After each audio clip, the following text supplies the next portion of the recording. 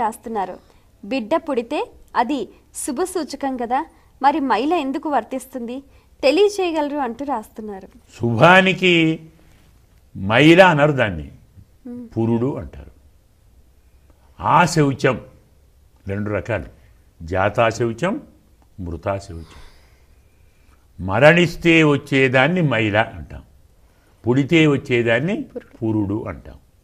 ఇది ఆ శౌచమే దీనికి కారణం ఆశౌచం అంటే అర్థం ఏమిటి ఒక ప్రాణి పుట్టాడు అంటే పుట్టడానికి కారణమైనటువంటి తల్లిదండ్రులు. వారి శరీరం. వారి శరీరంలోని ఇంద్రియములు మనస్సు ఇవి పనిచేసినందువల్ల వాడు పుట్టాడు. ఈ సంబంధం అక్కడ వర్తిస్తుంది. భూమి ఆకాశము వాయువు అగ్ని జలము పంచభూతాలు. పంచభూతాలతో శరీరం వచ్చింది ఈ శరీరం యొక్క రేతస్సు ఆ స్త్రీ యొక్క శోణితము. ఈ రెండు కలిస్తే సంతానం కలిగింది. ఎక్కడిది రేతస్సు? ఈ శరీరంలో శోణితం ఎక్కడిది? ఆ శరీరంలో వీటికి ఉండేటువంటి మలినమును పిల్లవాడి రూపంలో వచ్చాడు ఆ మలినం పది రోజులు ఉంటుంది. కారణం ఇంద్రియాలు పది కదా? ఐదు జ్ఞానేంద్రియాలు ఐదు కర్మేంద్రియాలు. ఒక్కొక్క ఇంద్రియము ఒక్కొక్క రోజు పది రోజులు ఉంటుంది. అందుకే దానము చేయాలి యజ్ఞము చేయాలి ఆరాధన చేయాలి భోజనము పెట్టాలి స్నానము చేయాలి. స్నానముతో దేహశుద్ధి దానముతో ద్రవ్యశుద్ధి యజ్ఞముతో దేవతల యొక్క ప్రీతి. ఇలా అన్నింటికీ పరిశుద్ధి కలిగించుట.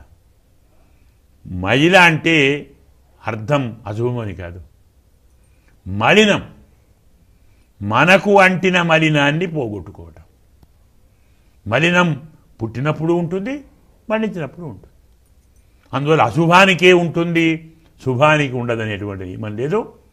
దేహ సంబంధం ఇంద్రియ సంబంధం మనస్ సంబంధంతో అది అవంశం వారందరికీ. ఈ రక్తము ఎక్కడెక్కడ ఉందో ఈ వంశం ఎక్కడెక్కడ ఉందో వారందరికీ ఇంద్రియ సంబంధం ఉంటుంది కాబట్టి ఈ సంబంధాన్ని బట్టి వారందరూ పది రోజులు ఆశౌచంగా ఉండాలి. ఈ పది రోజులు స్వామి యొక్క నామస్మరణ చేయాలి. రోజు మూడు సార్లు స్నానం మనవాడు కొంతమంది ఏం చేస్తారంటే మాకు మైలండి మేము స్నానం చేయం. స్నానం మానేస్తారు. ఆ రోజుల్లో మూడు సార్లు స్నానం చేయాలి. మూడు సార్లు. రోజుకు మూడు సార్లు స్నానం చేయాలి. ఇంకా కొందరు పెద్దలు ఐదు చేసేవారు స్నానం. పంచకాలం అంటాం కదా? అంటే ఏమిటి ఈ మలినం ఆ మలినం పోగొట్టాలి. వాడు పాపంతో వచ్చాడో పుణ్యంతో తెలియదు కదా? రెంటికి శుద్ధి చేయాలి కాబట్టి వీడు స్నానం చేయాలి. అలాగే దానం చేయాలి యజ్ఞము చేయాలి. అది అన్నదానం కావచ్చు తిలదానం కావచ్చు గోదానం కావచ్చు భూదానం కావచ్చు. ఆయన ఎవరు? నందుడు. కృష్ణుడు పుట్టాడు అని తెలిస్తే రెండు కోట్ల ఆవులను దానం చేశాడు. గోదానం చేశాడు. తిలదానం చేశాడు. అంటే తిల పర్వతాలు. నువ్వులు పర్వతంగా పోసి ఇచ్చాడు అలా ఎన్ని? ఓ లక్ష పర్వతాలు ఇచ్చాడు. వసుదేవుడు జైల్లో ఉన్నాడు కాబట్టి చేస్తానని సంకల్పం చేశాడు. జైలు నుంచి బయటకు వచ్చిన తర్వాత కృష్ణుడు వచ్చిన తర్వాత దానాలని చేశాడు. మన ద్రవ్యము శుద్ధి పొందాలి మన మనస్సు శుద్ధి పొందాలి మన శరీరం శుద్ధి పొందాలి మన సంకల్పం శుద్ధి పొందాలి మన చుట్టూన్నటువంటి భూమి శుద్ధి పొందాలి ప్రకృతి శుద్ధి పొందాలి. వీటి కోసం ఈ పది చేయాలి. ఇది అర్థం. అశుభం అని కాదు శుభమే.